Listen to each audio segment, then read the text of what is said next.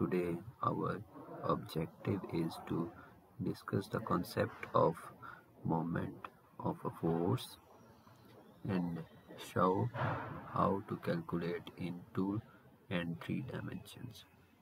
So, today we will discuss moment of a force and I'll show you how to calculate the moment of a force in two and three dimensions.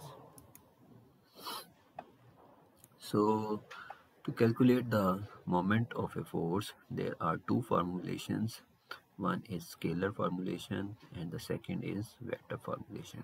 So in the first part of this lecture, we'll discuss the scalar formulation for calculating the moment of a force. So uh, in this figure you may see a wrench and uh, you can see a force is applied on the handle of this wrench and this uh, wrench has a perpendicular distance or moment arm d. So when we apply uh, the force on this wrench uh, it produces a turning effect.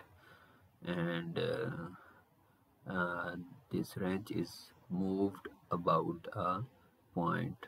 The definition of moment is the when a force is applied to a body it will produce a tendency for the body to rotate about a point that is not on the line of action of the force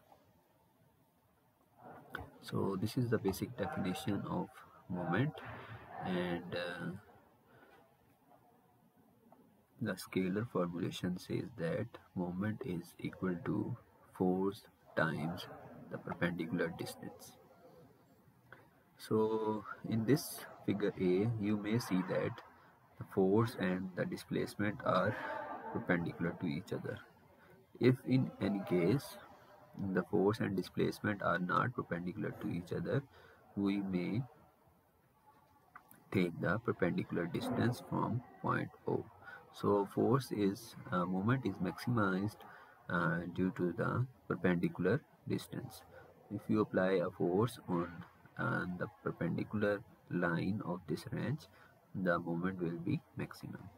So moment will be minimum if you apply the force parallel to the moment arm. So in this figure C you may see that uh, force is applied parallel to this moment arm. So there would not be any turning effect or or no uh, there would not be any moment produced. So uh, this is the uh, formula to find the magnitude of movement and uh, its direction movement direction of movement is found by right hand rule. So the natural according to this right hand rule the natural curl of the fingers of the right hand as they are drawn towards the palm represents the rotation and your thumb and your thumb. So uh, this is the right hand and curling of fingers according to this force. So you curl your fingers according to this force and your thumb of your right hand is pointing towards the direction of movement. So we use this formula to calculate moment uh, and uh, in this figure we can see that we can also find out resultant moments so we can add moments due to different forces according to their rotation. Uh, for example if the force F1 is turning in the anti-clockwise direction. F2 is turning about O in the clockwise direction. So anti-clockwise direction is taken as positive and clockwise direction is taken as negative. We can add all these moments to find the resultant moment. So this shows that we will generally take consider positive moment as counterclockwise. So counterclockwise rotation is taken as positive. So now we'll solve a example to understand uh, the concept of uh, moment how to calculate moment of a force about its point O. So in this example you may see that uh, he's asking you to determine the resultant moment of a four forces acting on the rod shown in figure. So we need to calculate moment about point O and uh, there are three forces acting on this member. So there are four forces actually. This 50 newton force 60 newton force 20 newton force and 40 newton force we will examine each force individually and we'll see that how much uh, distance perpendicular distance it has uh, from the point O. So uh, we, we now calculate the moment due to force of 50 newton then we'll calculate the moment due to uh, force 60 newton then 20 newton and then 40 newton so here you can see that 50 newton force has a perpendicular distance from point O is 2 meter. So this 50 newton force will produce a clockwise moment.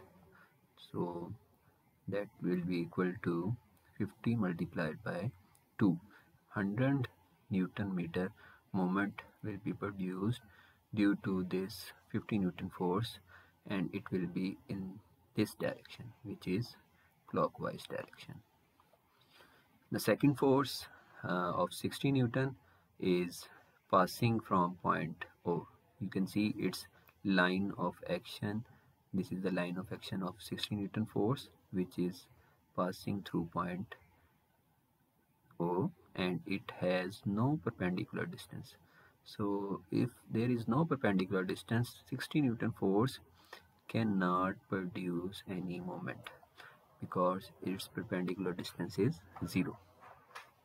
The third force is 20 newton and you can see this is the line of action of 20 newton force and this perpendicular distance of this force for this force is uh, this this distance this this is uh, 3 sine 3 3 sine 30 this is uh, perpendicular of this little triangle whose angle is 30 degree. And you can see here this is 3 meter is hypotenuse. And uh, this is a perpendicular. And we will uh, resolve this right angle triangle into its components and this perpendicular is equal to 3 sine 30 and this is the base and base will be equal to 3 cos 30 so we will multiply 20 newton with 3 sine 30 and this force multiplied by this perpendicular distance will be equal to uh, 20 multiplied by 3 sine 30 and it will rotate like this. And this is anti-clockwise direction. Then the final force is 40 newton and it has perpendicular distance of uh, 2 meter plus 2 meter plus this distance is 3 plus 3 cos 30 so 2 plus 2 plus 3 cos 30 multiplied by 40 is equal to uh, the moment produced by this force 40 newton force and it will rotate like this.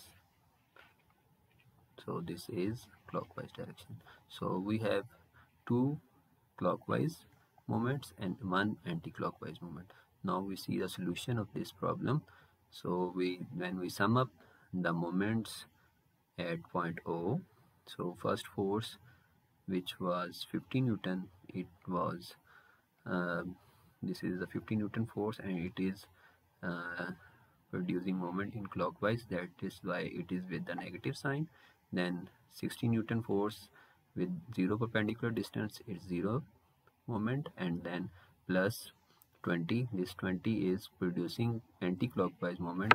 So 20 multiplied by 3 sine 30 and then minus 40 multiplied by 4 this is 4 2 plus 2 4 and 3 cos 30 this is the 3 cos 30 uh, so when we sum up all these so we get uh, 334 is the answer and negative sign shows that the moment is resultant moment is in the clockwise direction 334